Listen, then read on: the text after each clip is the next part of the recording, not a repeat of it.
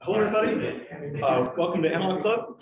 Uh, I want to, you know, say thank y'all for coming, and you know, it really shows that y'all must like what you're doing, and might be something similar. Might just be that this is something that's akin to what y'all are doing. Uh, but it's great that y'all are passionate. So, what is the Analog Club? The Analog Club is meant to organize this discipline, and you're here today to hear about some great research done by the community here at UT. Uh, we've got Dr. Hanson's group, Dr. Porter's group, uh, and uh, who else is here? All right, so we have some more people coming later, but they're later in the show, and so that's okay. So what have we done as the Analog Club? All right, so we've had a few events go on in the Analog Club. Uh, we've done things with TI, we've done things with Keysight. Uh, TI brought us through all their suite for designing power electronics. They walked us through how they could design boards with PMICs, so with multiple converters in one chip. They showed us how you could take one of their parts that is just a power electronic and put that on your boards. And then they also showed us how you could make custom power electronics based around their chips as a system.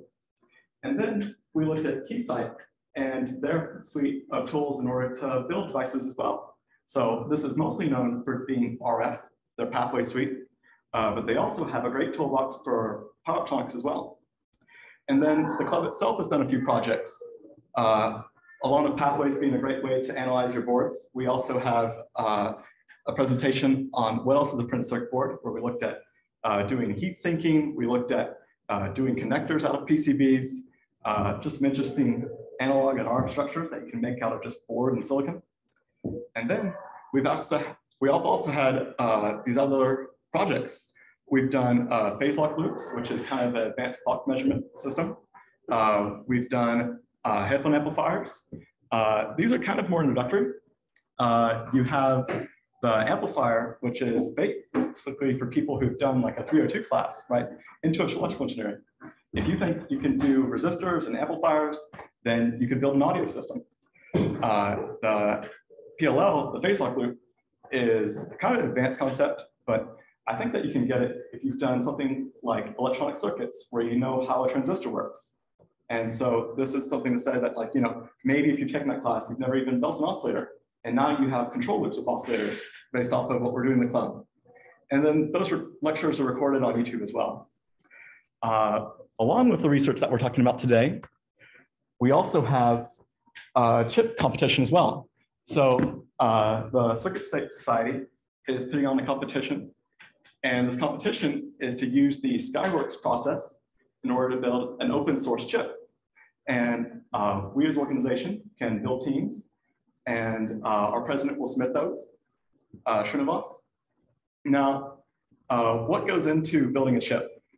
You know, you have to do a few things. Uh, first, you've got to design something, right? What are you going to design, right? So you've got to figure out what circuit you want to make and what functionality that circuit's going to do.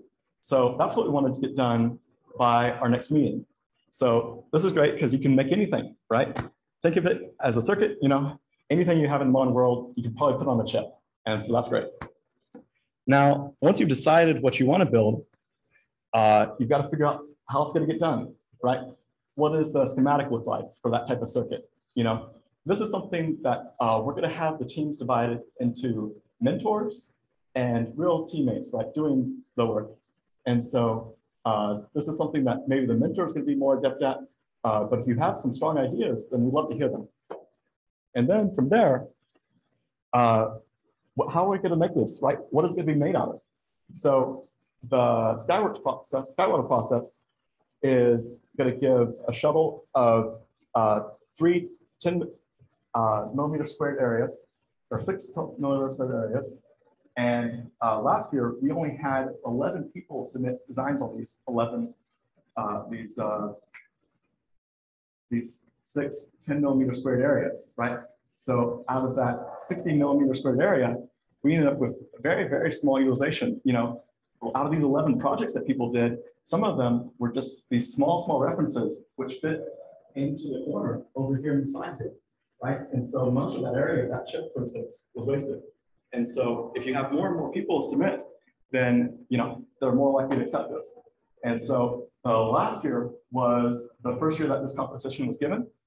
Uh, LA, again, they only accepted 11 applicants. Uh, and that came and they uh, tested their chips here in January. Uh, the whole cycle lasts right around a year.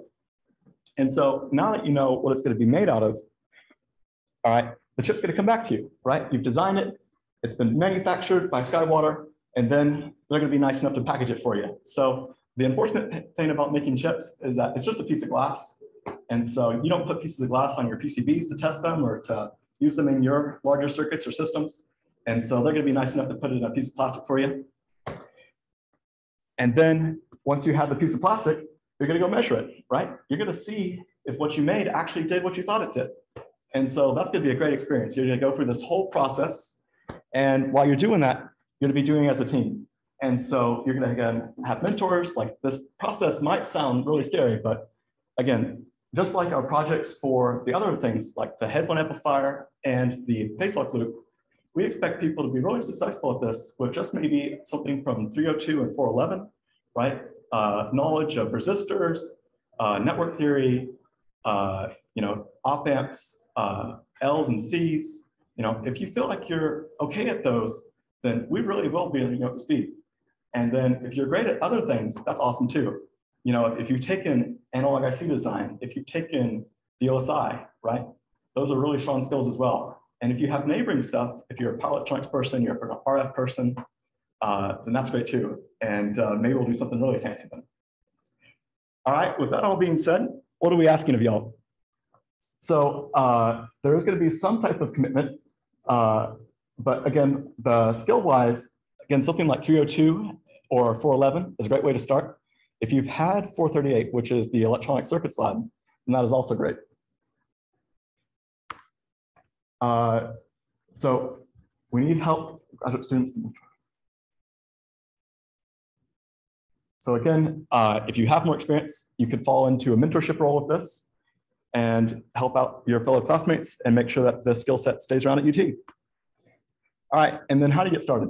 So here's the QR code. Uh, we have a list to sign up for it.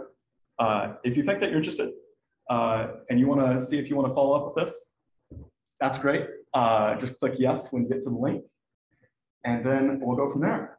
Uh, probably again, we'll figure out what's going to happen next week as far as uh, what team you're going to go into. We're going to brainstorm ideas, uh, and by the end of next meeting, you're going to know what chip you're going to make, and we'll start on proposals to get this stuff funded. Uh, that is one thing nice about this is that this open source competition is completely free to us. So if we get selected, we'll be on this initial shipment and they'll go make this on their shuttle. And this is for the circuit side itself. And then if we don't make this shuttle, then there's going to be an additional shuttle for the same process in June for the open source Google Skywater competition as well. And traditionally, they accept many, many more designs. And so if we don't get on this shuttle, then it's very likely that we'll get on the Google shuttle then. And so if you want to make a chip, then this is the way to do it. All right. Uh, with that being said, uh, let's have questions to the end, uh, and we'll have our first presenter. Welcome, uh, Jared from Dr. Porter's group. Hey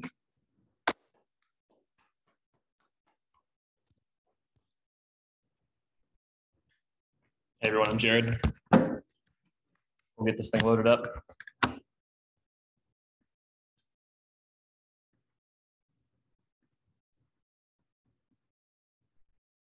Should be the only thing not in a folder.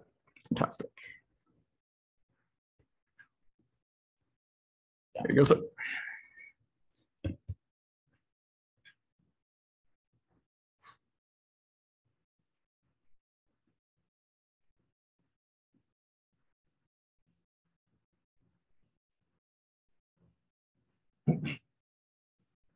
Okay, hey everyone, I'm Jared Culpepper. Uh, I'll be presenting for um, Dr. Emily Porter's lab. Uh, we work with the, um, the, the lab is called Electromagnetic Technologies, uh, EMT for short. Um, we mostly work with medical technology. So electromagnetic technologies, um, particularly radio frequency and microwave, are, are really good for diagnostics, um, and they're safe because there's no ionizing radiation. Um, and the, uh, the microwave frequency range is good because it is a balance between penetration depth and resolution, uh, which is something that you, uh, something that's important for uh, medical imaging. Um, it's still pretty cutting edge. Uh, there's there's not much uh, actual product development um, already released for medical imaging technologies using RF or microwave, uh, but it works because there's an inherent difference in the um, dielectric properties of diseased and healthy tissue, and uh, you can measure that with uh, both both RF and microwave. Um, typically, the way that this works is we start with a simulation, um, sometimes in MATLAB, sometimes in Python, uh, sometimes in HFSS or uh, or COMSOL. I'm not sure if you're familiar with any of these programs, but they're they're all very powerful, and um, you can uh, the, the sky's kind of the limit with them. So once we get some simulations that show promise, uh, then we develop phantoms, which are just physical models of whatever it is that we're that we're measuring, be it a you know a torso or a head, uh, and we'll show some pictures of that in a minute. And uh, once we have uh, prototypes that work, then we do a pilot study with humans, and that's when it that's when it gets really interesting. Where's my mouse?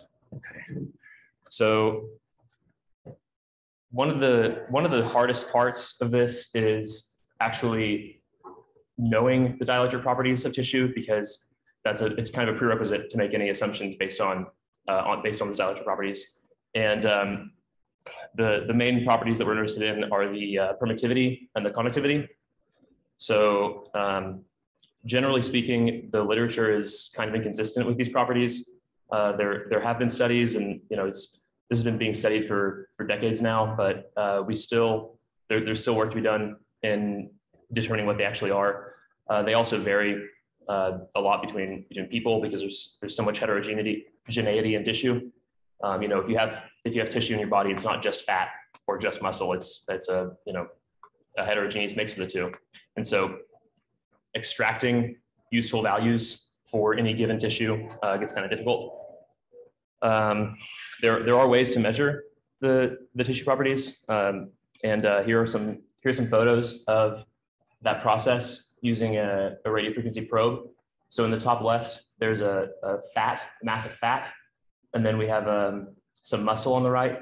And uh, right beneath that, there are, or there is a, a plot of the S11, which is the, uh, the reflection coefficient of microwaves traveling through the tissue and then back into the antenna.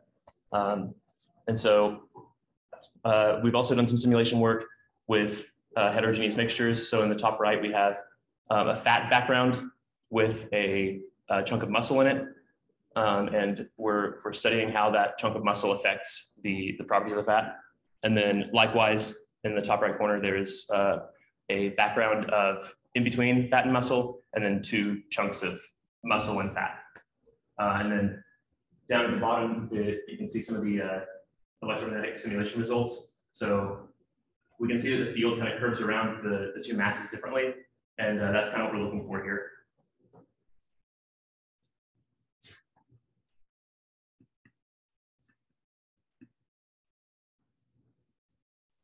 Um, electrical impedance tomography is what I've been working on for the past, geez, two years, uh, a little shy two years. But um, the way that it works is you put an array of electrodes around whatever it is that you're measuring. Um, so the work that I'm focusing on is stroke detection, uh, brain stroke detection. And so the uh, you put a ring of electrodes or like a net of electrodes on top of the head, and you inject current between two of the electrodes. And then as the current travels through the head, voltages uh, there, there, are voltages on the other electrodes.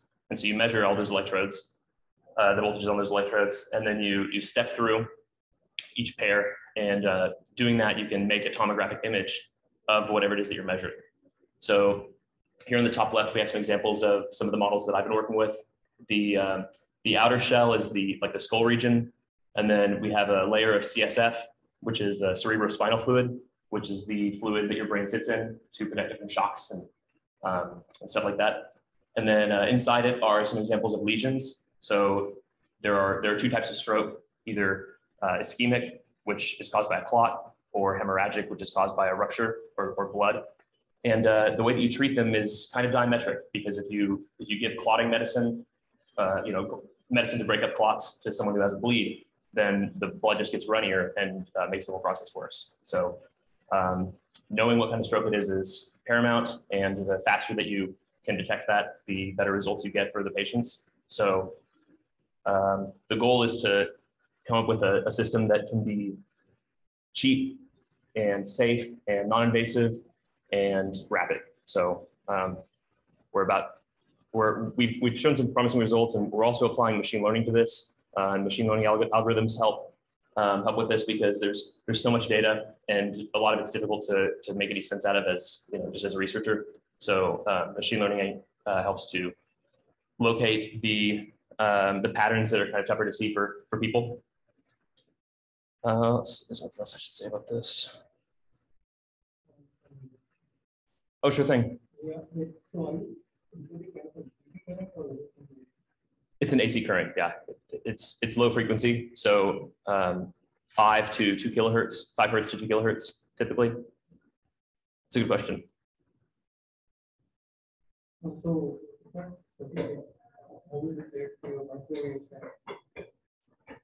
That's a good question also. So it's obviously not microwave uh, frequency, but um, I'll get into the microwave uh, element of this of the same project. This is there's overlap, so it's it's trying to solve the same goal with two different processes. So e EIT is a it's you're right, it is not a microwave. Um, um, it's not a microwave method, but uh, it is still electromagnetics. Um, yeah, good question, man. Uh, so, oh yeah, and I mentioned the phantoms. Here are some examples of phantoms that um, that they've built in the past. So we have a skull over there on the on the kind of in the middle, and then uh, on the right there's a torso, and then uh, this this is an example of uh, the dielectric differences that you can measure. And then um, here is the result of some uh, machine learning classifiers comparing uh, bleed versus clot for for some simulations. So to to tack onto what you were just saying, the the same trying to solve the same goals with microwave imaging is um, is possible, and uh, it's kind of a similar process. An array of antennas, micro antennas, or sometimes a single antenna is placed on whatever it is that you're imaging, and um, based on the dielectric properties, the scattering of the wave is different. And so when you measure the uh, reflected wave or the transmitted wave from other antennas, you can extract dielectric properties and uh, locate the disease tissue or uh, determine the dielectric properties of the tissue. So see, so we have um, on the top left, this is a breast cup for microwave imaging for tumor detection. Uh, and then a breast phantom with not only the physical properties of a breast, but the dielectric properties as well. Uh, and then directly to the right of that is a an, uh, a, a, microwave image of a tumor inside of the breast. There's a small red spot uh, around the middle where the, the tumor is detected by the, the antenna array. Uh, and then we have some flexible antennas put into a bra cup, and then there's a patient, a volunteer there um, being being imaged by uh, by that that same bra with the flexible antennas. And?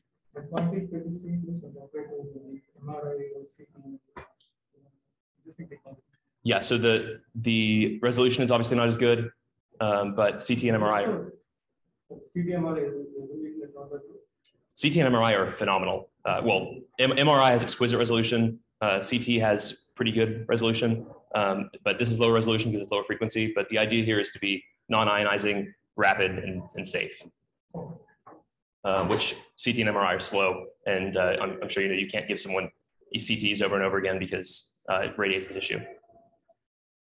Um, and then another application of microwave uh, microwave imaging is bladder state detection. So some people um, are not able to tell when their bladder's full, and so that is you know a difficult way of life. And so uh, we've we have a proposed method to uh, send microwaves into the body, and then based on whether the, the bladder is full of urine or not, the reflected wave is different. And um, so there would be some sort of alarm that that tells the patient that their that their bladder is full.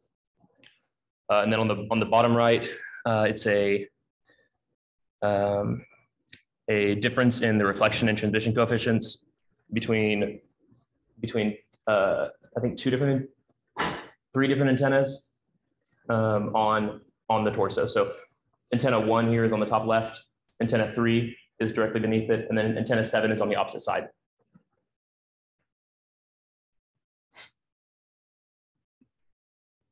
So finally, uh, another application of um, RF here is microwave ablation. And this is a more destructive uh, application. So it's, it's not for imaging, but it's for uh, actually treating tissue. So you, you insert an antenna into the tissue and then using, using microwave, you turn up the, turn up the power and it, uh, it heats the tissue, thereby killing the tissue. So there's, this is actually already used for um, things like nerve damage in the spine. Uh, but the, there, are, there are problems with it in that it's, it can be difficult to locate where exactly you're heating and to, to measure how, how big of an area you're heating and to measure how, uh, if, if, you're actually reaching the, the temperature that you're supposed to be reaching. Um, so we're doing some work with, uh, with a mechanical engineering group who has developed a steerable drill to, uh, to aid in that and to, to aid in the, um, the maneuverability and uh, also for drilling into bone. So there's a lot of stuff going on in our lab and we have more projects that are just getting started and Emily's got a lot of ideas. So if you're looking for, um, if you're looking for some research to do in electromagnetics for medical imaging, then uh, I think it's a fantastic group.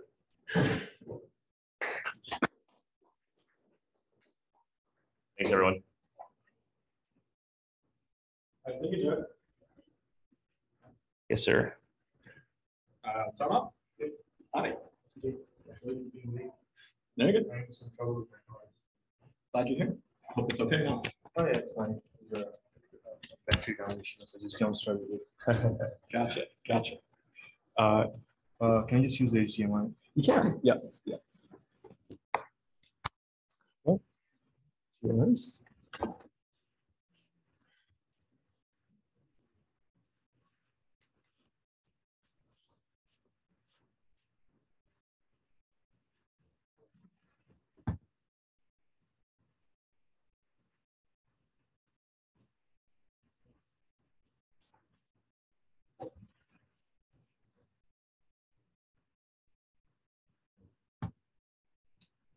Um, hello. So uh, my name is Shana Bhattacharya, and I'm with the Lu Group, and we do most of our research uh, on soft bioelectronics.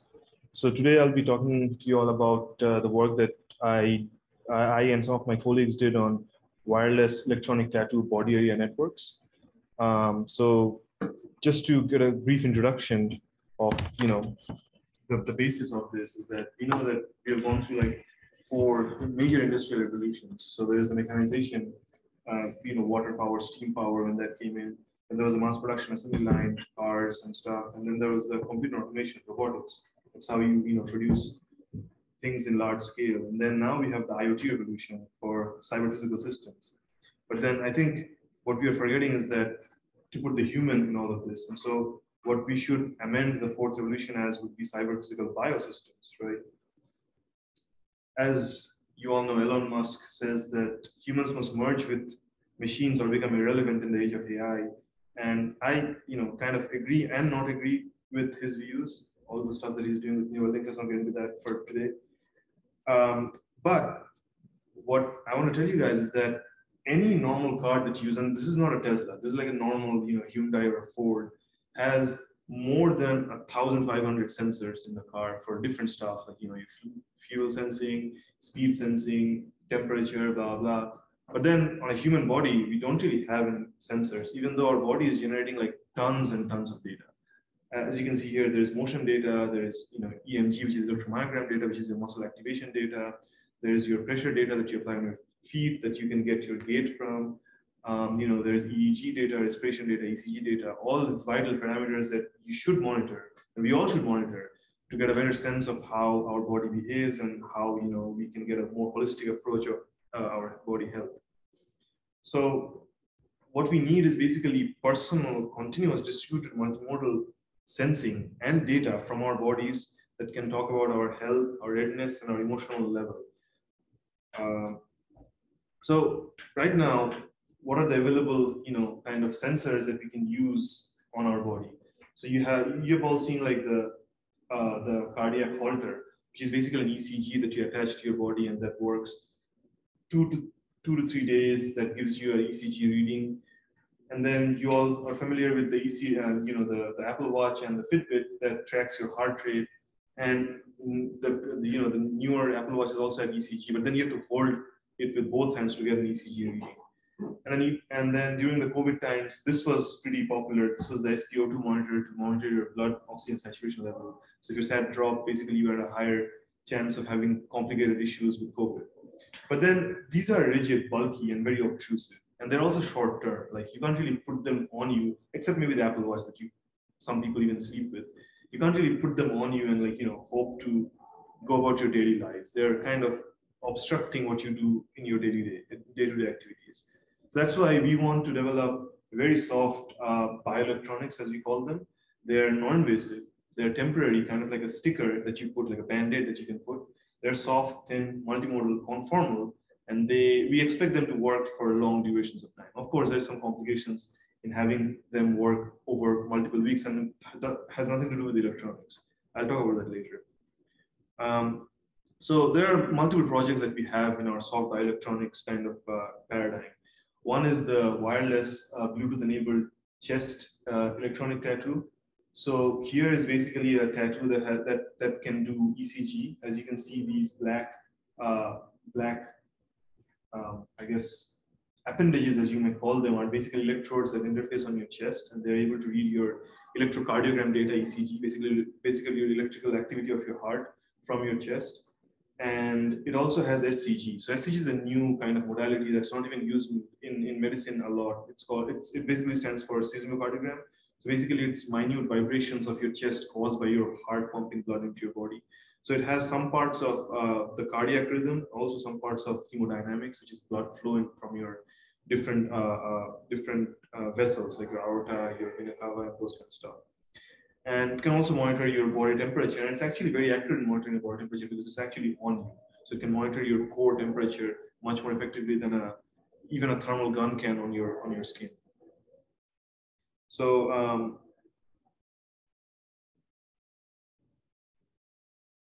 so uh, going going deeply into why we care about you know ECG is already there because you know Holters are there even though they're bulky they're already there. So why do you care about SCG? We care about SCG because that gives us pretty important timing, uh, which we call cardiac uh, systolic timings. Uh, because the vibrations of your heart correspond to certain specific events. Specifically, we are concerned with the AO, which is the aortic valve opening, the MC, which is the mitral valve closing, and then the AC and the MO, which is the aortic valve closing and the mitral valve opening. And with this, we can get like pretty important timing, like the, the PEP, which is the pre-ejection period, which is kind of how long it takes your heart to react to the cardiac rhythm that it's being uh, exposed to from the brain. And your LVET, which is how quickly your uh, heart can, left ventricular ejection time, how quickly your heart can pump blood into your body. These are very important factors when you're doing measurements like cardiac output, stroke volume from your heart. So these are stuff that you cannot do with only ECG. You need the either an SCG or an ICG or a phonocardiogram to do that. And so SCG was kind of like a very easy uh, conformal body uh, body conformal way of doing it. So this is some of the data that you obtain with our participant that I showed you in the first slide. So this is like real world data captured, captured by our device. As you can see from the ECG, we're able to extract the heart peak, which is the highest point of your highest sharp peak of your ECG. And from the SCG, we're able to extract some important parameters like the S1 and S2 uh, uh, events of the heart. And from there, we're able to calculate PEP and LVET from which you can extract other stuff like your cardiac output, your stroke volume, and other cardiac parameters and other hemodynamic parameters also. We also did another project previous to this that I didn't mention here where we correlated the RAC, which is the R peak, uh, the R peak to the AC valve opening time to blood pressure. And we found out it matched quite well to an FDA, FDA approved uh, blood pressure monitor. And going forward, we also have a wireless neck e-tattoo uh, project where we use PPG sensors. PPG stands for photoplethysmogram, which basically is uh, LEDs that reflect light from your body and are able to capture like the absorbance from blood. So it's the same kind of technology that's used in SpO2 monitors that you use for monitoring your blood oxygen saturation. But what, what we are trying to achieve here is we're trying to get like the velocity of the pulse traveling in your uh, vascular system, your blood vessels. So we actually have two detectors that can that can basically track the pulse wave traveling. And so getting the timing difference between the two detectors, which are separated by a set distance, as you can see on the image there, gives us the velocity of your blood flow. And it's pretty important because a velocity of blood flow, or pulse wave velocity, as we call them, call it, is a very important parameter in uh, in correlating with your blood pressure. So you can kind of get a sense of your vascular resistance and those kind of uh, parameters from from this kind of data. Obviously, there there is um, you know complications when you try to actually deploy it on a human. For example, what we're trying to see is the the blood uh, pressure velocity in uh, the arteries because that basically has the highest pulse when the you know the heart beats it pushes blood into the arteries but then if you put it on a neck the vena cava which is uh, sorry not the vena cava the jugular vein is very near your carotid artery so what happens is you get a you, you get a interference from the venous signal on your uh, arterial signal so on the left we have basically a very good kind of arterial signal this is an averaged over a few beats uh, 27 beats but then on the right, you see a signal that's corrupted by interference from your veins. So you see there's a dip because the vein actually pumps, the blood flows towards the heart. So it actually has a dip instead of a, instead of a, a peak. And again, these are very small. Uh, the, the, electronic size of the whole thing is very small. It's almost the size of a, a SD, micro SD card. The biggest part in the circuit is the battery, which has to power the device for quite a few hours. We also developed uh, some material, uh, you know, material uh, kind of uh, devices where we developed an ultra-sensitive pressure sensor, which can actually sense uh, the pulse pressure from different locations in our body. So there was one where it could detect the carotid arterial pulse pressure, the radial arterial pulse, which is basically what doctors uh, measure when they touch your wrist, and also the temporal arterial pulse pressure, which is very hard to detect. But then if, if, if a preload or an extra pressure is applied onto our sensor, then we're able to detect that pretty well. And so this can be used in scenarios where maybe you're, you know, you have a VR gaming headset on your on your on your face, and you know that data, like the pulse data, can actually be used inside the VR game to do something. Um, you know, the metaverse. So they're trying to get you into the VR world. And so, you know, getting all your body parameters into the VR world is a pretty cool uh, scenario.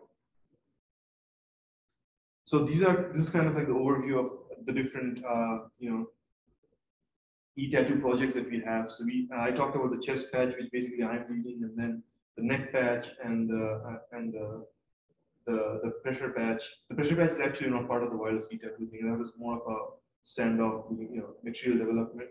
But then there's also like the electronics that deal with making that pressure pulse uh, mobile and attaching it to your body. So there is that.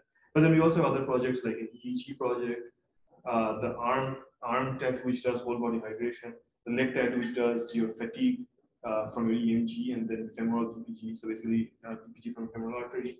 There's a wrist tattoo which does uh, bioimpedance and sweat, and also pulse, obviously. And the finger tattoo which does arterial oxygenation and then finger bending. And these are basically kind of some of the paradigms that we deal with. So there's the electrical uh, aspect of it, which is ECG, EEG, EMG, and then there's mechanical aspect of it, obviously SCG, which is like mechanical movement of your heartbeats, RR, which is respiratory, respiratory rate, which is the movement of your chest cavity with your respiration, thermal, you know, a fusion of these parameters can give you uh, higher level parameters like stress, fatigue, and it also detect COVID-19 because we do like temperature sensing, respiration sensing, and those kind of stuff we don't deal a lot with chemical stuff that we do want to get into it, but we don't uh, we don't have any projects that deal with like chemical uh, things like glucose or cortisol, cortisol measurements and stuff. But we do a lot of optical stuff, as you saw, PPG, uh, peripheral oxygenation, and those kind of uh, pulse wave velocity and those kind of stuff. And then again, these are all fine, but then we have to validate these kind of uh, measurements that we're getting with some gold standards. So we try to use like FDA approved uh, gold standards uh, to validate our claims. So on the right, you can see a, a non-invasive cardiac output monitoring from Baxter that gives us like the cardiac output, the heart rate, the stroke volume, the ventricular ejection time. And this is data that we use to kind of validate our uh, our e-tattoo, the data from our e-tattoo that we extract with algorithms and stuff. There's also like the Omron, uh, you know, smartwatch. This is actually a smartwatch that can do blood pressure. It actually has a cuff underneath. It's pretty cool. You can wear it all day. It'll give you blood pressure, and we can correlate our higher level algorithms that extract blood pressure from our sensor readings uh, and correlate them with this kind of device. So um, what are some of the challenges that we deal with when we design these kind of embedded systems to do these kind of sensing on the human body? One is obviously synchronization when you're dealing with huge number of multimodal data and not just multimodal data it can be the same mode but maybe different sensor for example as i showed you in the neck tattoo project there was two uh, sort uh, light detectors they're the same mode but then you have to synchronize them very carefully in order to get like the time difference between the pulse passing through them Pulse uh, power consumption is a huge issue. Obviously, we don't want to, you know, tape batteries onto the human body. We would like our batteries to be as small as possible. So the chest tattoo actually uses a coin cell, but then the card, uh, the neck tattoo because it uses like LEDs consumes more power, so it uses a lipo for it for now. But we're trying to investigate more, uh, more into like energy harvesting paradigms. Maybe have like NFC patches that you can like attach your phone to and then read out the data immediately as you attach the phone to it. We're also looking at wireless power transfer uh, methods that we can use to kind of uh, power our devices. And then some of the other problems that we deal with when, when the human, the human is involved in these kind of studies is motion artifacts. You can't just tell a human being, just sit still, don't move at all. They'll move, they'll twitch, they'll look, look here and there, and that corrupts our data. So you have to develop algorithms or you uh, or other uh, you know other kind of sensors to kind of counteract motion artifacts and external noise. Uh, one external noise is uh, very interesting. External noise is 60 hertz noise that gets coupled onto your power lines. Uh, that's something that you have to be very careful of when you're designing electrical systems like EEG, CG, EEG, uh, EMGs, and those kind of stuff. And then again, human subject testing. You know, uh, reviewers, when you write papers and you try to present it, they'll always be like, why didn't you test more?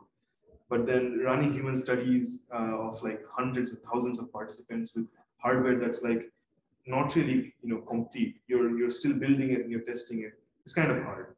So there's there, there are those challenges when you kind of do these kind of studies.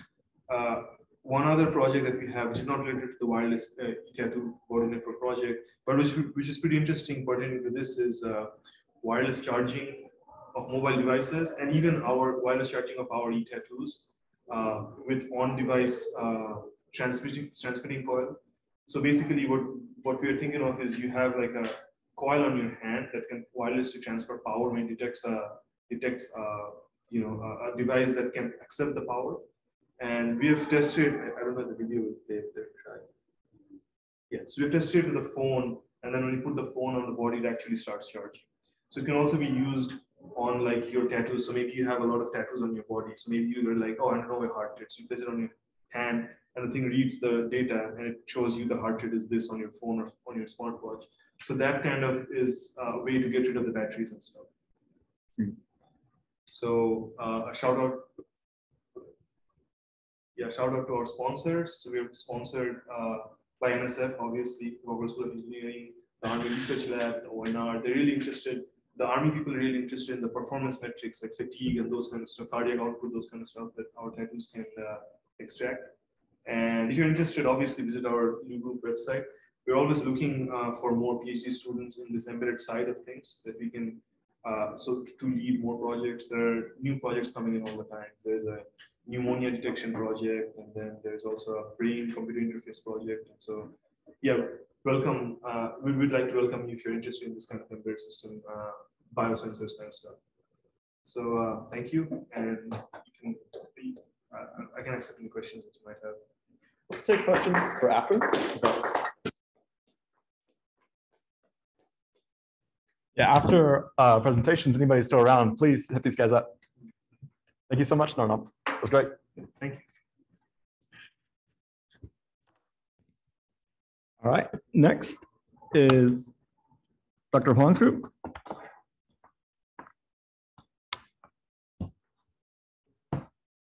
Uh, Quinn, you're muted.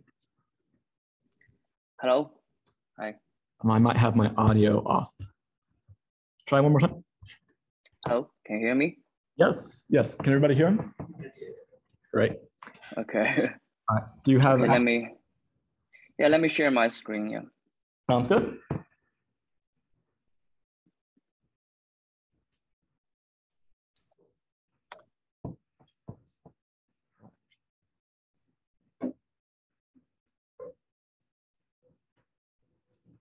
I think you're good to start. Okay. Okay. Um, thank you, everyone. So uh, I can have a chance to introduce our center. Uh, our center is Semiconductor Power Electronics Center. Uh, uh, I'm a I'm a research associate at this center. So today I will represent our group to introduce our center about our recent re research, uh, some exciting projects. Um, okay. So this is our professor, uh, Alex Huang. He's a chair professor at UT Austin, director of this center. Uh, he is also, he was former director of NSF ERC FREEDM Center at NC State. Um, he got several uh, uh, uh awards like uh, R&D 100 in 2003 because of the ETO technology he invented. And uh, the SST technology he invented was reviewed as like one of 10 most emerging technology in 2020, 2011. he was also the recipient of the IAS Gerald Kliman Innovate uh, Award and uh, uh, David Middlebrook Achievement Award. Uh, he is fellow Triple E and a uh, fellow of National Academy of Inventors. So uh, how about let's talk about a little bit a general concept of powertronics because sometimes powertronics like is everywhere, but uh, we really uh, we rarely know about what is powertronics. So fundamentally, this world is full of different voltages, different power source, and different power loads high voltage AC, medium voltage AC, low voltage AC, DC voltage like 400 volt, 48 volt, 12 volt, 5 volt, 1.2 volt to CPU, PV energy source, wind turbine, electrical vehicle battery, lighting system, charger, or, or your computer CPU. So some system you can easily uh, access like uh, under 48 volt or, or 20 volt, your, your, your, power, your power adapter of your uh, uh computer, uh, your CPU uh, behind your computer. Um, yeah, so some some low voltage thing you can easily access, but we sometimes talk about like very high voltage. You only know them, but you cannot see them, or, or even yeah, you can you can not have access chance to access them. But Powertronics is a fundamental technology to link all of this kind of different voltages, different power source, different power loads with AC to DC, DC to DC, DC AC, or AC to AC and also maybe sometimes with isolation, like transformer. Uh, not we are talking about not like a, a low frequency, uh, a, a hundred year old technology transformer. We're talking about like a high frequency powertronics transformer. So now powertronics is uh, enable technology to enabling the clean energy and efficient energy world, like a renewable energy power generation, PV, wind turbine, electrical vehicle, hybrid electrical vehicles, efficient power for, for uh, computing, data centers, energy storage system, smart power grid. So actually now Powertronics is, is leading a, a very important research area about all energy systems. Actually, Powertronic research cover a very wide range of uh, research topics, but uh, uh, um, one of the most important topics is always efficiency. Why we talk about so much about efficiency in powertronics because for example I, I list this kind of example here. So this is a very typical power system diagram for a data center. Okay. So you you may know uh, uh, cloud computing but behind cloud computing is a huge megawatt level power data centers. But in power data centers you can see there's a long chain of power electronic process. From high voltage AC with low frequency transformer to medium voltage AC, still with low frequency transformer. Then up this one, 480 to DC, including UPS, then to 480 again with isolation, go to rack level from 208 volt AC to 400 volt DC, 48 volt DC, 12 volt DC, down to 1.2 volt uh, DC for CPU. Your CPU voltage only 1.2 volt. So you will see so many power stages for power processing in the power just for data centers. So uh, in addition to the low frequency transformer, all of them are Powertronics.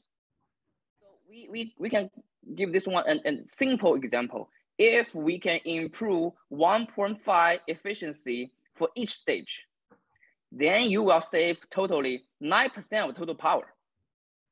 Okay, so this is a huge saving. We just improve 1.5% efficiency for each stage. But it is very challenging. Why? Because we assume the efficiency for every stage is already 97. Then you want to improve 1.5% efficiency, that means you need to save 50% of the total power loss. You need to reduce the 50% of total power loss for every stage. So this is the reason uh, so many people and so many research projects are focusing on how to optimize the efficiency of every power station in power, powertronic systems. So our center, uh, we ma majorly focus on very uh, wide range of research topics, but majorly we, we are focused on how to improve the power efficiency, uh, power density of every stage, not only for data center, also for PV inverter, uh, wind turbine, or some uh, uh, grid connected inverter, and uh, electric vehicle systems.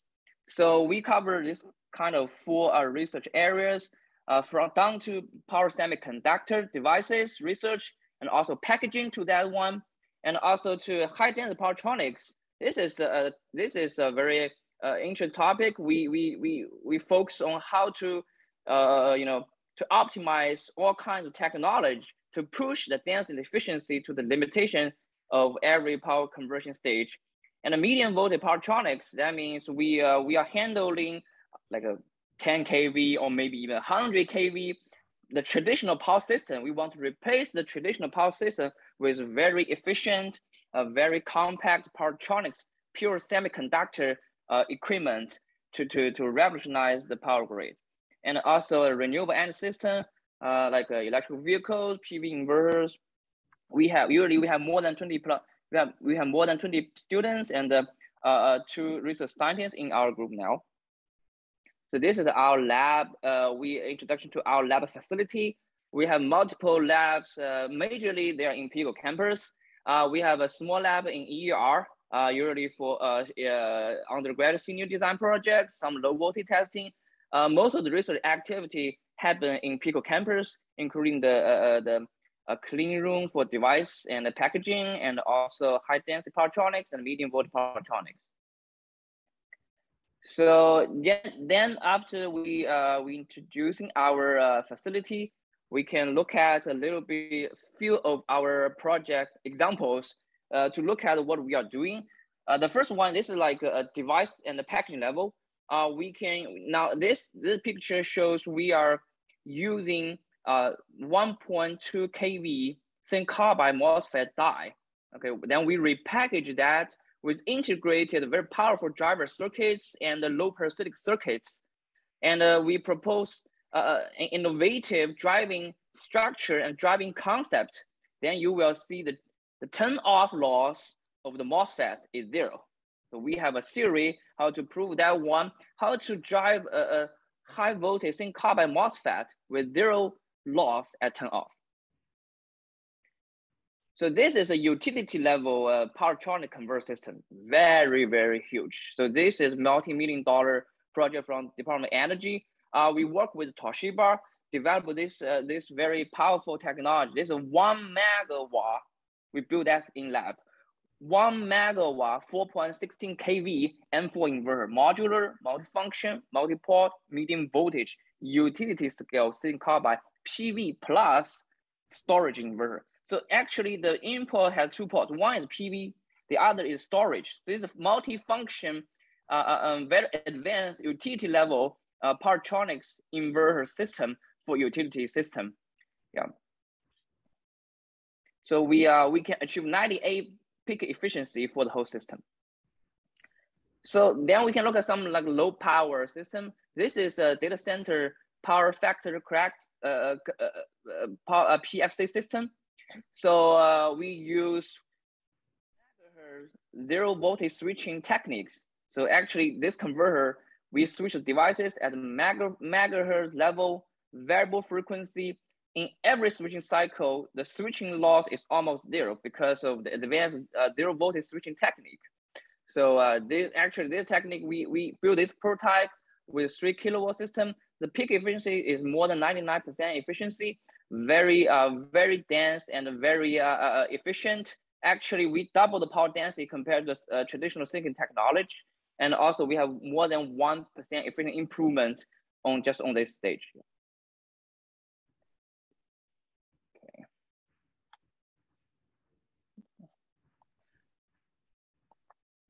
Okay, this is another example.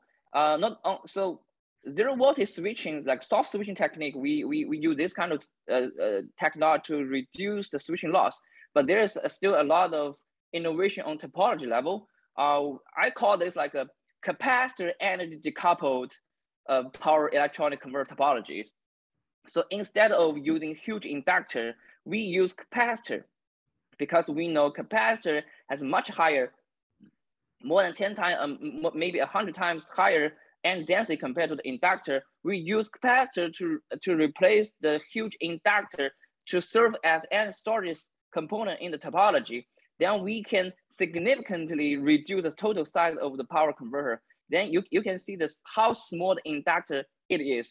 Even we compare to the traditional two-level uh, gallium nitride-based PFC system, this multi-level capacitor energy-based PFC topology reduce 70% of the inductor size, just on the inductor. The capacitor, because the flying capacitor is like using a um, ceramic capacitor, very, very dense, very, very small. So we use this topology to build another three kilowatt PFC system. The efficiency is more than 99.2. This is a record number in this, in this area. So another example uh, is, uh, uh, actually PFC is a rectifier from AC to DC. Once you have a 400 volt DC, you still need to convert the 400 volt DC to a low voltage. So 400 volt DC to 48 volt DC is a very typical uh, conversion stage. So we propose this kind of concept. We call this modular isolated DC-DC converter. Usually the modular converter um, was used in high voltage application, majorly because there's no high voltage semiconductors they want to build a very high DC link, just use lower voltage devices. So they propose this kind of some like modular converter design. But here we talk about modular converter design for different, total different purpose.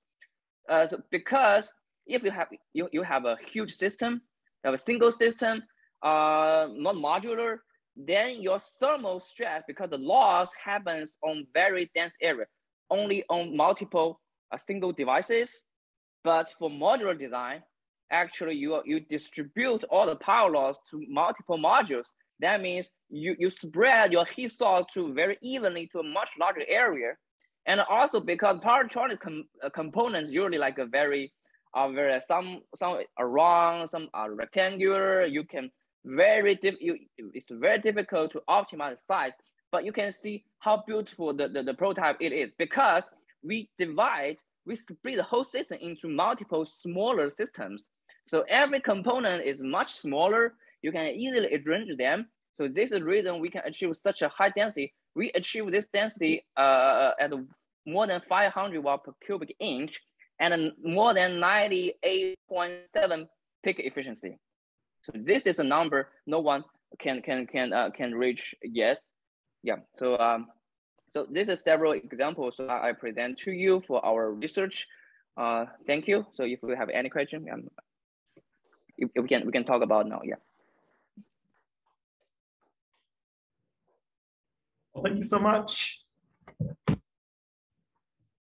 Hi. Uh, I hope you can stay around at the end for questions. Uh, but for now, Dr. Pan, are you here? Yes.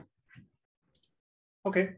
Uh, all right, let me quickly show what I have. Can you see my slide? Uh, yes, can everybody hear Dr. Pan? All right. Take it away. Sure. All right. Let me... Okay, I will uh, talk about uh, basically what uh, my research group, uh, uh, which uh, is acronym UTDA, Design and Automation. So you know, as we know, right? So when you're talk, talking about chip design, right? So there's all kinds of designs, and uh, uh, most analog may not be very, very advanced uh, nanometer technology, but uh, you know, we my group also work a lot on digital as well. And then uh, when you're doing design, you do need a lot of automation. And uh, also recently, there's a lot of usage of AI, right? So, so my group works on the interface between design and automation. So which is kind of like uh, at the heart of the heart of this modern information technology. Uh, my research group currently has one postdoc and uh, 14 PhD students. And uh, I have graduate certified students and uh, five postdocs. They are in academia and industry. Uh, so yeah, we are one of the leading research groups uh, in this area. And uh, I'd like to uh, also share with you some of our recent and or the current research topics. So a lot of emphasis has been on the machine learning for design, design automation. I'm part of the two National Science Foundation National AI Institutes and one is uh, located at UT Austin, uh, IFML uh, Foundation for Machine Learning. Another is TILOS for optimization. Right? And we also work very closely with the industries such as NVIDIA, Google, Intel, IBM, Dell, etc. Uh, but today I'm mostly going to focus on the design automation for analog mixed signal uh, circuit designs. Uh, and I know that you guys are trying to tap out some chips right? and using SkyWater. excuse me. actually, uh, we uh, have developed some nice tools which probably can help you to improve your design productivity. Um, so this is actually uh, funded by DARPA and uh, also some companies. And uh, we also work quite a bit on other topics such as optical computing, FPGA, and uh, AI accelerators with emerging technologies and hardware security, right? So anyway, so the main thing of my research group, you can think about, you know, we use a lot of AI to design IC, but meanwhile, we also develop uh, IC accelerators for AI. Right? So we're trying to close the uh, this loop. So uh, one thing I like to, uh, as I mentioned, uh, uh, talk about today is design automation for analog mixed signal circuits, right? Which I think since this is an analog working group, so as we know, right, analog design, right, so it's very important, the interface to outside world, right? But in terms of the design, they are still mostly done manually. Uh, of course, um, you know, manually, you know, the designers, you know, while you guys are students, you, you want to learn all this, you know, uh, transistor topology and sizing and layout, you know, you get, you do simulation and then you know, oh, okay, this is design is better than the others and so on and so forth, right? So this is a great learning experience. But you know, if you keep on doing it, you may feel, oh, this is so tedious and also error prone, right? So uh, that's why, uh, you know, actually a few years ago, uh, DARPA actually had a, a, core to have, you know, uh, we had a DARPA project on uh, developing a magical, which stands for machine generated analog layout, right? To have a fully automated analog layout systems and uh, leveraging both human and machine intelligence. It's not like oh, we are going to totally replace designers, right? But we are going to give you a tool so that you can you know, enhance your design productivity significantly. So um, what is Magical is doing like, uh, okay, so you will give me a net list and maybe with the PDK, for example, SkyWater or uh, TSMC, right? With uh, all the design rules. So Magical will help you to generate the device and meanwhile, uh, you know, it will uh, generate uh, layout constraints automatically. Uh, I'm not going to talk about all the details, but we have, you know, machine learning techniques. Uh, we also have some small signal analysis techniques and so on and so forth. So, um, well, okay, this is automatic layout constraint generation. But if designers also say, hey, you know, I, I, I can manually generate some layouts for you, sure, go ahead and write it in a format that can be recognized by our magical tool. Then, you know, during our placement and the routing engine, which is very tedious in general, right? We will actually uh, try to uh, honor those symmetric, uh, such as uh, you know, symmetry and the mirror and so on and so forth. And uh, uh, when you place those transistors and also when you route the signals, right? Uh, so the output is a GDS2 layout, which is ready to be fabricated in whatever fab, right? And uh, it is also DRC and LVS clean. Right? That's our goal. So you may say, wow, this sounds like uh, amazing. Is it really possible? And uh, and uh, the answer is uh, sure. Uh, actually, uh, we even actually have uh, used Magical to tap out uh, pretty high performance uh, ADC chip. It's a one gig sampling sampling per second and Delta Sigma ADC, and has a state of the art performance. And we tap out using TSMC 40 nanometer technology, and it has you know several sub blocks, as you can see, right? Uh, integrators and uh, FR uh, feedback DACs and comparators and digital logics. Here's the, uh, the, the, the, ADC core and then have a packaging, right? So uh, we actually even have a paper published at the CICC, right? Uh, last year. And uh, as you can see, this is a manual tap out. This is our uh, magical tap out, which is automatically generated. So you can compare the performance here versus the manual layout. Actually, they are very, very comparable, right? As you can see in terms of the area, you know, and in terms of the uh, power, right? So actually our, our number is actually even slightly better. And uh, then the like SFDR, SNDR, they are kind of comparable. You know, in some case we are a little bit better. Some case, you know, the manual is a little bit better, but uh, figure of merit ours is better. Right? So however, if you are doing, uh, you know, full manually, it takes the experienced PhD students like a month or something, right? To do full layout and simulation and uh, iteration and so on and so forth, right? But using Magical, it takes a minute, all right? So, wow, I think uh, with that, uh, I want to let you know, tell you that we have already open sourced the Magical. And uh, uh, of course, we cannot open source TSMC 40 nanometer technology. But uh, as you said, you guys are already you know thinking about Skywater, right? So Skywater has partnered uh, with uh, Google, uh, which were actually, uh, if you guys provide a design and which is clean and uh, approved by Skywater and Google, they will tap out for you for free, right? So uh, Magical, um, originally we, we support TSMC 40. We also tried TSMC 65, but now we're also migrating it to Skywater. 130 to support Skywater 130. We're almost there. So uh, stay tuned. So I think when you are doing your, you know, tap out, right, for Skywater, right, maybe some of, the, I mean, I'm not saying that you will just, you know, push a button, right? So at least, right, this provide very useful tools uh, for you to, you know, not worry about the very tedious place and route things. And, or at least you can use that as a good starting point if you still want to mess around, right? So I guess uh, that's all from from my side? Okay. Any questions or we'll have question for the end? Uh, yeah, that's amazing. No, thank you so much. Yeah. Uh, save questions till we have one more presenter. Uh, Odinaka?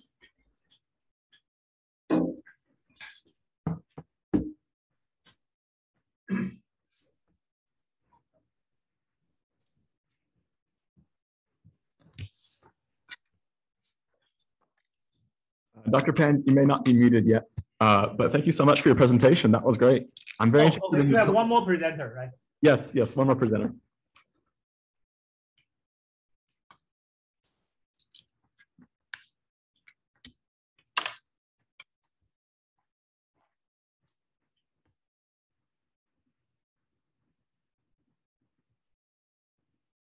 You say that you have the presenter here? Uh, yes. So if I click this, should be able to see view here.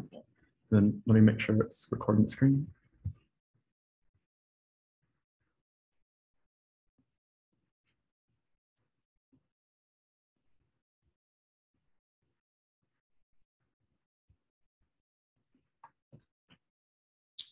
Okay.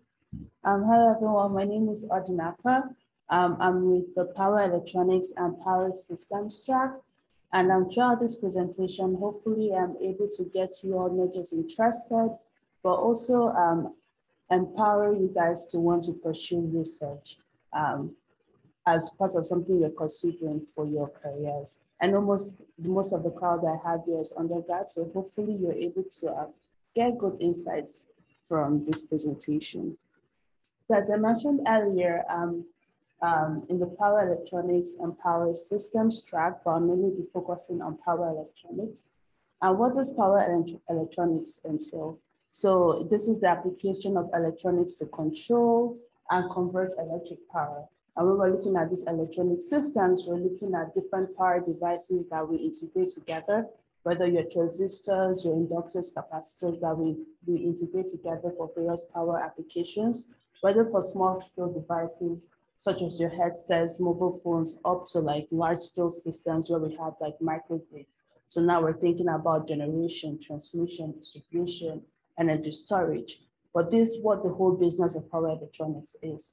Um, and as the world is growing, we're continuously seeing like this nest of technological advancement um, in this power electronics business. And then the next question then comes up to um, how do you contribute to this ever-growing need um, within the power electronic business in different technological advancements or like how do you know where to fit?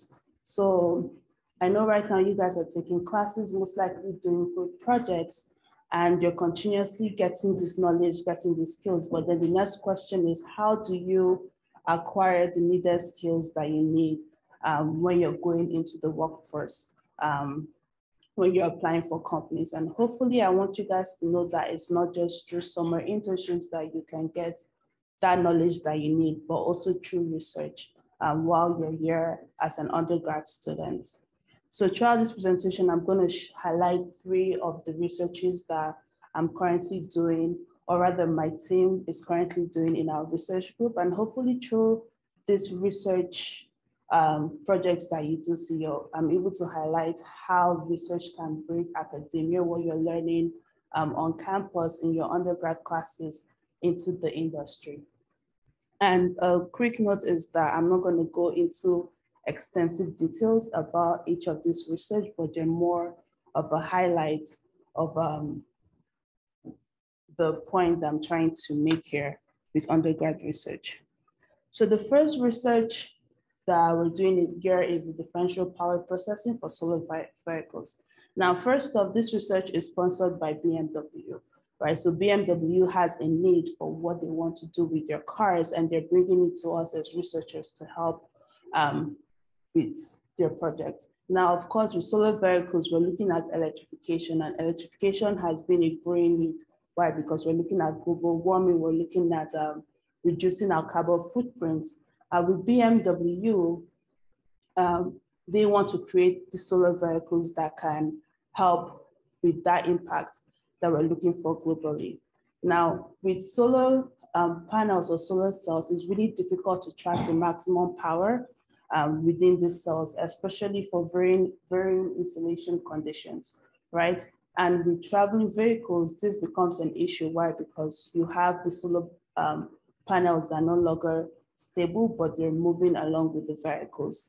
Now, this differential power processing um, allows us to create small and cheap, cheap converters that can help with this maximum power point um, tracking systems and allows for the majority of power processing um, for the main onboard charger. But the point that I want to highlight is with this project, for instance, it being sponsored by BMW um, and um, a well-known industry um, within the vehicle industry, you get to have experience um, while researching on this project. You get to have experience um, um, scaling from controls all the way to like PCB designing, schematic layouts, um, different skills and design experiences that you do get as you're working on this project. So if you're an undergrad, for instance, and you do want to participate in this research, it's going to be key for you because you're not only stepping, getting one foot into the um, industry, that's like working with BMW, but you're also getting a resume um, booster with the different skills that you do gain from working on these projects. Another project that I want to highlight, um, this is a project sponsored by NASA. So NASA has really been going into um, um, powering outer space, so like the moon, Mars, and hopefully they limit that to those planets. But um, the objectives of this project is to develop a power conversion system suitable for future lunar and Mars habitats. So the primary obstacle with um, creating such power conversion systems for outer space is radiation and also scalability because we're dealing with high power, high voltage systems and we want them to be scaled down to low weight, low size to be able to move them up to outer space.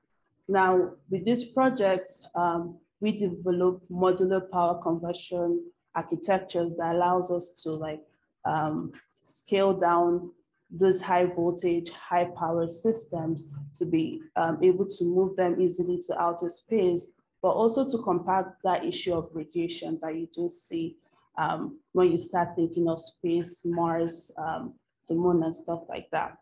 In this project, as an undergrad student, what you can learn from here is modeling, the skills that you can develop, modeling, simulation, controls, again, PCB design. Um, over here, we use microcontrollers. So you're learning, you're applying um, your knowledge on C programming, learning about these different applications that you can use to help design such a system that will be beneficial in the power electronics industry, and in this case here, NASA. Um, so this is another research project to highlight this benefit that you do get as a researcher and see and seeing how it can gear you not just in the academic world, but also as you're looking to work into the industry for various companies. Um, the last research project that I'll be highlighting, this uh, um, actually I'm working on it. And this is high frequency magnetics for solar microinverters. Now the company that sponsors this is Enphase, and Enphase is really known for um, creating home energy solutions, so mainly related to um, solar panels, solar cells. And what they're trying to do with this project is for some of their new technologies, solar microinverters, um, they're trying to create microinverters for each solar panel to allow for their systems to operate independently um, while producing constant power as well as maximum power. Now with these microinverters, they're going to be operating at high frequencies. So we're looking at 3 to 30 megahertz frequency range, and they require magnetics.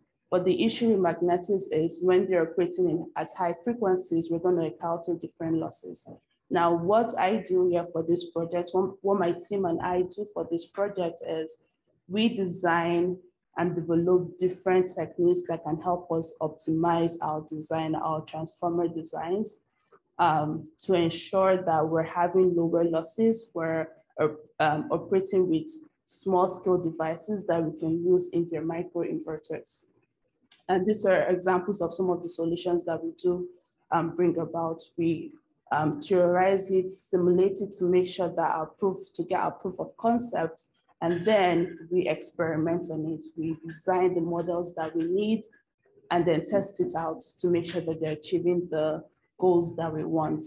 Um, in the project that I'm doing here right now, I even introduced a novel idea where we use flexible PCBs for our transformer windings. So typically you use copper wires, you use four windings, but now we're using flexible PCBs as one way to help with achieving the technique um, that I am proposing for this project. So anyway, needless to say, um, with this research, not only are you working with an industry, but you're also building the skills that you need um, that you know will be relevant for whatever industry that you want to work with, whether it's with TI, NASA, Enphase, Microsoft, and so on. So the next question is, what do you want to do, right? Um, like I mentioned earlier, many people wait till so they get a summer internship to like get that knowledge or the design skills that they want, or they only limit it to design projects that you want to learn in classes. But I want to encourage you all and urge you all, especially as undergrads, to seek um, research experience, right? Because the whole point here is um, by the time you do want to get a job, you want to have a concrete win on your resume to help you um, be more attractive within the job market. And doing undergraduate research will help you with that. Why? Because you're gaining the intellect as well as the skills that you do need to work within those industries. And you do know you're getting those skills because the projects that you're working on are sponsored by companies that do require that experience that you are getting as an undergraduate. Um, before I move on, um, my group that I work with is Power Electronics and Magnetics Group. as highlighted on the top right. And I also work with the Center for Electronic for Electromechanics, which um, looks at power systems and microgrids. So hopefully throughout this presentation, I've encouraged you all and um, um, helped you shed some light on exactly how impactful research is for you as an undergrad in getting the skills that you do need um, as you go into the job market. And this concludes my presentation and I'll leave the floor open for questions.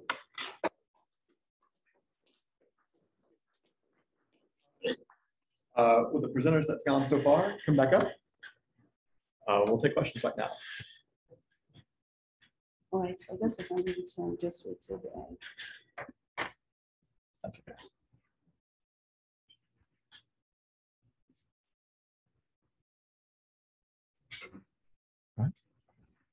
Yeah, I have a question for you. Ignore me, On your, uh, but on your circuits, why were the contacts attached by uh, the Kirby traces? Why do you use the? like, So, shape traces? Yeah, the serpentines, Yeah. uh, we use them for stretchability. So Okay. serpentines, when you pattern them on flexible or even like copper tubes, they let the, the, the whole thing stretch, which you Right. would not get on That makes flexible pieces. You could conform grid, but not stretchability. That makes It's sense. on a chest, when you can stretch a bit, it stretches. I mean, we tested out till twenty percent stretch and it was still. Wow, that's actually fine. Cool. So that's why I use those. So we use island design and serpentines to have like more density and like industrial fabrication processes, but then the serpentines can already stretch. Makes sense. Thanks. Okay, we'll now open up the floors for questions from the audience.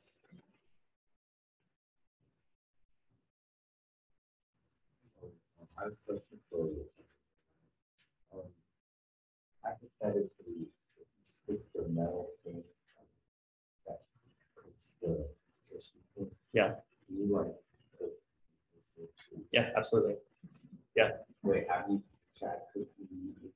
Well, we, no, well, I mean, you, you, you can, just you have to heat it for some time, right? I don't- uh, Have you ever seen, there's a YouTube video of a guy who punches like a steak or something, and he, and he slaps it enough times that it heats the steak and it's edible. and it fully- cooks it? Yeah, yeah. So not seen that. you just have to heat it for enough time. So yeah, you could cook meat with it. But the idea, the, the goal is to you make it a really small area that you're heating. And so you would have to do it a lot, you know, it would be more efficient to just put it in an oven. Yeah, or I could. Good question.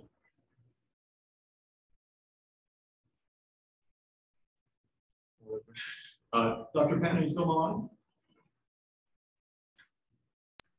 line? Oh, Perhaps. yeah, yeah, sorry. Yeah, Uh, what inspired you to make uh, magic for the Skywater process? yeah. Pardon me? Uh, what made you want to make the magic for the Skywater process? Oh, uh, because uh, you know, uh, Magic is uh, supported by DARPA, and uh, they would also like to see us uh, supporting this uh, open source uh, PDK, right? Then more people can use it, right? So, I'm, you know, that's a. Are you saying the motivation? Yeah. Uh-huh. That's the motivation, right? More people can use our Magical, right?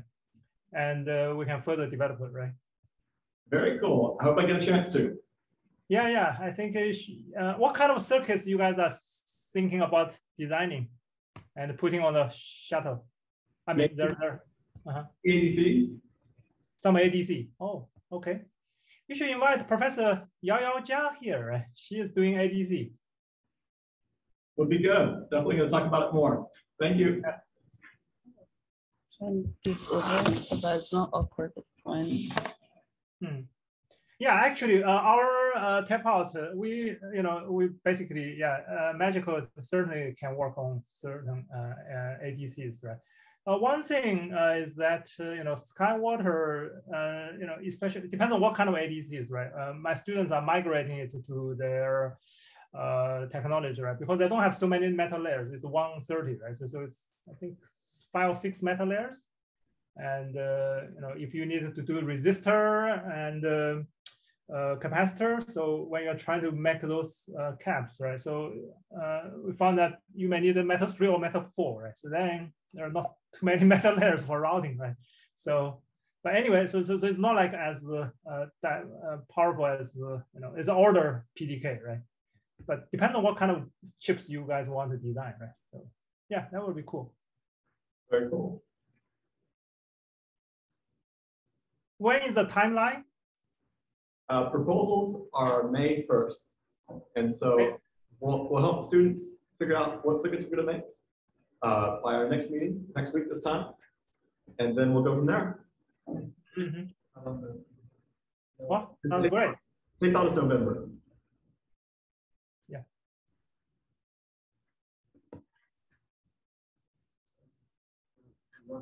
Well, sounds great. Actually, I have to leave soon. So uh, is there any more question? We've got another question in the audience, but it's uh, it's for me. All right. Bye, Dr. Ben. Yeah, okay, bye. Just let me know. And I think if you need any help for ADC, right? I think my group still have some uh, senior PhD student, uh, you know, uh, I co-advise with Professor Nan Sun, uh, working on ADC. He's defending next next week or something, but he will still be around for a little while. And Professor Yao Yao Jia definitely is an expert in ADC, right? So it depends on what kind of ADCs, right? You might get some input from her. And also, we were also talking about some collaborations, right? So because a lot of the, this layout, you know, is very tedious, you know, I mean, you guys can do other more, in, you know, in, intellectually interesting part, right? Then get, you know, magical to do this uh, layout for you, right? So meanwhile, you know, you can do other simulations and topology size. By, by the way, my group also works on sizing, right? So uh, transistor sizing, etc. So um, automatically, or, or automation. So uh, yeah. Anyway, um, good luck for your proposal and uh, and so on. Right. Okay. Bye. Thanks for your time. thank you. Yeah. Thank you. Bye. So uh. Yeah, it's, it's definitely a problem. So I I haven't done any microwave work yet, but uh, the some of the some of the projects that use microwave antennas, um, they'll put a backing on the on the back to to make it more directional, um, and, or they'll make they'll put shields around the around the outside of it, like a kind of like a little housing for it, and uh, that helps to minimize the interference as well. But it's definitely a problem. I had a question. Do you, have to do a lot of waterproofing for your circuit because you feel like it's skin? Like, are, are you like able to take a shower with it? Like, is that ever an issue with testing it? Yeah, good question. So, um, I don't have my slides up, but I had some supplementary slides where uh, we show that we're actually pouring water on the tattoo and it's still fine. So we actually, um, depends on what kind of tattoo we're talking about. The, the chest tattoo is, doesn't, the electronics doesn't actually contact the body because it's separated by the medical film dressing that you saw. It's actually bounded on both sides of the film. So it's actually watertight sealed, right? And the battery is rechargeable, so you can just recharge it uh, wirelessly. Um, so that is waterproof. But then on the neck tattoo, the neck tattoo, the LEDs actually contact the skin to get more uh, higher SNR reading. So that is actually exposed to sweat from the skin. And we actually had one uh, one time where one of the LEDs uh, shorted because of the sweat. So there is that problem there. But again, like that's a packaging issue. You can actually make LEDs also waterproof. So we're working on that. But yeah, good question. Oh yeah, I also have a question for you. How long like does the user like wear the patch? Uh, that that's what I was going to talk about, but I missed it out on because I was short on time. So ideally, you can wear it for as long as you want to. Uh, you can just so on the chest strap you can actually replace the battery easily. It's points the battery, you can stick it up on it, so you can go go go. But your skin actually regenerates uh, every one to two weeks. So these things are kind of like band-aids. Like if you, wear a band-aid for too long and you take it off, you see that your skin is kind of like a little bit crumpled, rumply. That's because basically your dead skin's coming out, but they can't like get washed away because the band-aid is not there. So the tattoos uh, ideally can last one week and then you have to replace them because you know the dead skin goes beneath it. And so you'll also lose like if you're doing like electrical measuring like ECG or EMG or EEG, you actually lose your signal because dead skin basically kind of like insulates the electrical signals from your circuits. So you would have to replace it every week, I guess. I do have a question about that. So like, since this is not just like a regular band, like this, we're looking at shapes on this item, right? So it means that there's going to be a cost that does come in when you're replacing it. So have you guys found a way to help eliminate that, those dead skin, those skin so that you're able to reuse um, the So, uh, so, so our design, again, I, I wish I had more slides to show you guys. Our design is actually modular. So you can take off the electronics and dispose the medical tape that contacts the body, but you can use electronics on another, another medical tape. So electronics actually can be used. Okay. So when you have to replace them, you just take them off. Uh, and it's not as simple as I make it sound because, because of all the material considerations. But you can actually remove the electrode layer, throw it away, put a new electrode layer and put it back on the skin. So yeah, the electronics does get reused. Okay. I have a question for Priyan Tanaka. Uh, Does Dr. Hanson and Dr. Wong's group do any collaboration? Um, right now, we don't have any direct collaborations with them, um, because of the sort of projects that we do, but those collaborations do exist. So for instance, uh, right now, I know Professor Wang works with the Center of Electromechanics, so the CEM. And I also do a project with them in conjunction with Professor Hanson. So right now, there's no direct link between Professor Hanson and mm. Professor Wang, but there's always collaborations within the group, whether with industry or like with other research facilities. Very cool, Why do you have a project for them to work on together? always. All right, well, let's give it a hand for all our presenters. Uh, the intro, uh, From Dr. Shankar Group, we have Theo. Uh, We're gonna flash it, of course.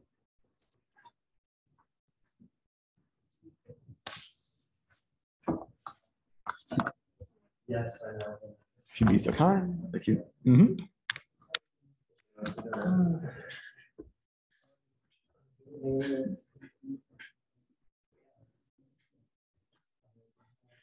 Mhm.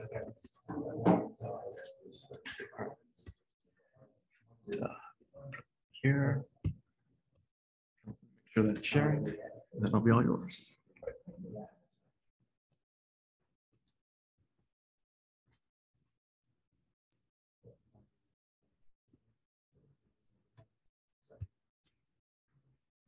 Mouse is gone.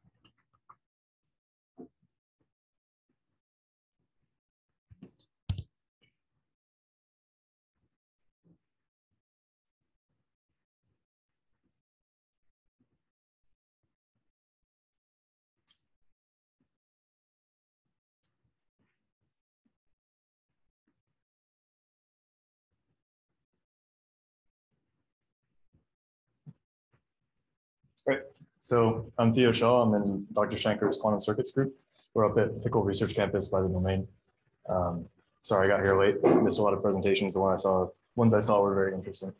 So I'm here to talk a bit about uh, the work we're doing and why we need analog circuitry to do that work.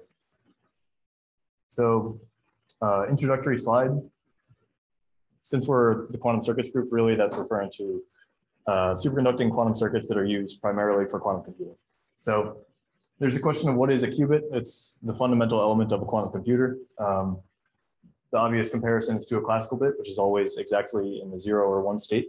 Uh, quantum bit or qubit can be in the zero or one state, but can also it can also be in a superposition of the two states, which is denoted by that um, letter psi in the brackets there. Uh, that state that the qubit is in is alpha, some coefficient, complex coefficient times the zero state plus beta, some complex coefficient times the one state. And essentially alpha and beta are denoting the likelihood that the qubit is in one of those two states, if you were to take a measurement of it.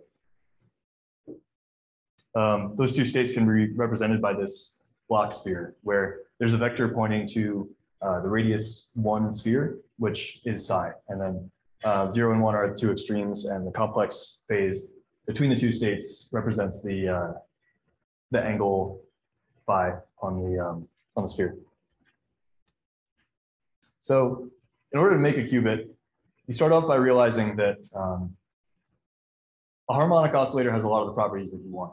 So think of the typical spring mass system as your starting example. Um, as you change the position of the block X from its equilibrium position, you'll be increasing the, the potential energy and decreasing the kinetic energy. And the block will oscillate back and forth along X. Well, if you want the electrical equivalent of that, you can do that by making a parallel LC circuit. And there the energy will be oscillating between current flowing through the inductor and charge building up on the capacitor. And again, it will show the same sinusoidal behavior. Now, if you want to take the quantum version of that, which essentially is making the inductor and capacitor very small, so the total energy involved becomes correspondingly small, what you wind up finding is that the energy is restricted instead of being anywhere on this curve to taking certain discrete values, which you can denote as the zero, one, two, et cetera states.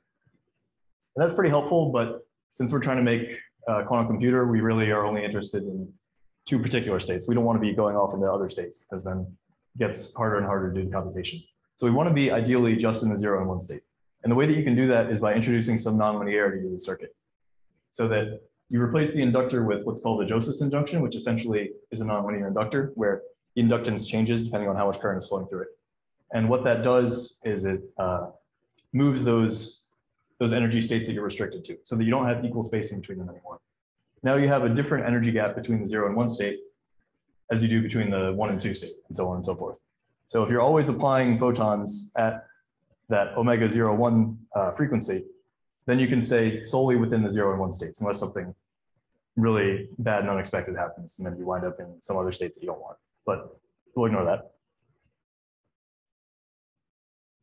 So this, um, this qubit, which is the parallel Josephson junction and capacitor, which is a quantum harmonic oscillator, uh, you need some way of interacting with it, which is to say, doing operations on it and reading the state of the qubit. And the way that you do that is by connecting it by some transmission line to um, a signal generator, which can produce arbitrary signals at a frequency um, or arbitrary signals around some frequency, which is the omega zero one frequency. In the case of the um, of the circuits that are state of the art these days, it's typically somewhere in the microwave. So something like five gigahertz is typical for a qubit. Um, there's potential for that to increase in the future as better analog electronics are made. Um, telecoms are making faster and faster electronics, so we could potentially get to higher frequencies without um, spending unnecessarily high amounts of money on equipment. But something for the future. For now, we're in the we're roughly five gigahertz range. So in order to change the state of the qubit, which is moving that psi vector on the Bloch sphere, you're applying some arbitrary signal, which could be something like that example shown there. Um, the sine wave shown in the blue is a five gigahertz tone, and then that's multiplied by some envelope, which is the, the orange lines. So hypothetically, you want to apply some signal like that to do some operation on the qubit.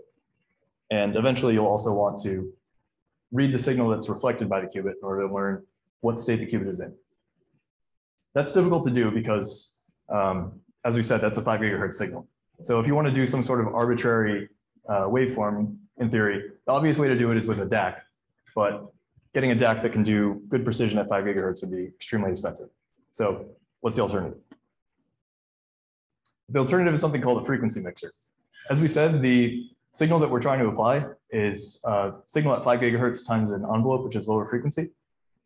Um, if you actually take the FFT of that, what you wind up finding is that you get signals at plus five and minus five gigahertz, but you also have some more signals from the envelope that are kind of uh, smeared around that five gigahertz signal. That's due to the multiplication. And the ideal mixer is a component that essentially just multiplies two input signals. And if you multiply two cosines, for example, as shown here, what you wind up finding is that the output signal is a cosine at um, you get two cosines at the sum and the different, so yeah, the sum and the difference of the frequencies, which is the behavior that you want to see from the FFT. So if you have some high frequency signal at five gigahertz and you have a low frequency signal, uh, which is at, at, the frequency of the carrier, what you'll get when you take the, um, the product of the two is this FFT, which has the behavior that we want. Uh, one way that a mixer can be implemented, if you're curious, is with a diode, essentially any nonlinear element. Um, if you sum the two inputs, what you wind up finding is a, a multiplicative result on the output. So diodes work, you can make much more complicated circuits than that, but a diode is a good example. So we're using these mixers then to get away from the uh, five gigahertz DACs and ADCs. And the way that we do that is with a five gigahertz sine wave generator, which is denoted as a microwave generator here. Then you multiply, uh, you feed that into an amplifier, which is also not a particularly expensive component, and then feed that into an IQ mixer or just some general mixer. And the mixer also has inputs coming from a lower frequency DAC, which is now much more affordable than a 5 gigahertz DAC. there's more amplification, there's a filter to filter out the high frequency component, which you don't want. And then there's a switch to um, turn this, this system on and off so that you aren't introducing unwanted signals to the qubit when you aren't trying to put on signal. Um, and then there's a similar thing in reverse to read the output of the qubit to determine its state. And rather than uh, trying to do all this on a PCB, what we found is that it's cheaper and easier to buy modules that have one of these blocks each and string them together. So there are various vendors who will sell these modules and then it's up to you to um, combine the different pieces. And so the control chain module is shown on that sort of optical table there. Uh, I should have included some scale, but the entire metal plate is roughly five inches by five inches for what it's worth. So take electronics like this, you run transmission lines from the output into a dilution refrigerator that's cooling the qubit down to something like 0.01 Kelvin. And then you can start doing um, interesting quantum computing stuff. So that's one example of where analog electronics comes into play in our research. Associated with this project, we also have two undergrads who are working on a temperature controller to maintain the temperature of the analog electronics because the mixers are very sensitive to changes in temperature. You'll wind up with a, a phase drift as the temperature drifts. There's also um, a project to generate the different power supplies for all these components. A lot of them have, um, as you can see in the orange boxes, very different power requirements. So rather than buying one power supply for each of these components, we take one big power supply, a switching 12 volt power supply, and on a PCB use linear regulators to generate the other voltages that we need. Uh, yeah, so that's it. Any questions?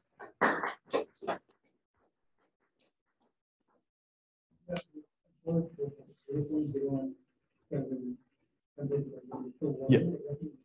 Um, we're trying to constrain the temperature swings to within 0.01 Kelvin. That's, yeah, it's a little bit confusing because I also mentioned 0.01 Kelvin in the fridge, but um, the electronics will be at room temperature, the microwave electronics. Yep. Um, so far, we're still a relatively new group. Our PI just got here about two years ago, so we haven't actually taken coherence measurements of any qubits yet. We're still trying to learn the fab, get the fridge set up. Um, state of the art right now for superconducting qubits and 3D cavities, which um, are, I think, the most promising, is, as I recall, something from tens to hundreds of micron microseconds.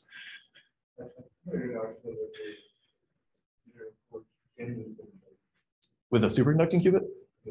Oh, that's interesting. Okay, yeah. Hmm, I'll have to check that out.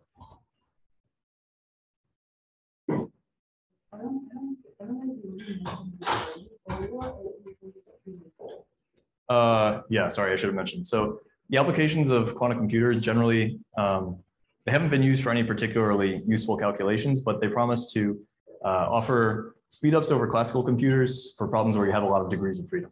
So things like um, modeling drugs and figuring out what they'll do in your body, uh, encryption, breaking encryption, um, things like that. There's interest in quantum computers.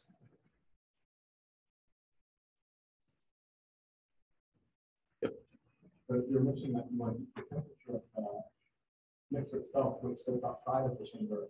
Yeah. In a certain degree. Mhm. Uh, you also know like what type of frequencies people need. So That's, you're trying to get this. Yeah, so when you have frequency instabilities, what winds up happening is you decohere the qubit from the state that you expect it to be, which is one of the ways that your quantum state drifts away from what you want and you start introducing errors in the calculation. So uh, there's not really a good answer, I would say. It's just as stable as possible.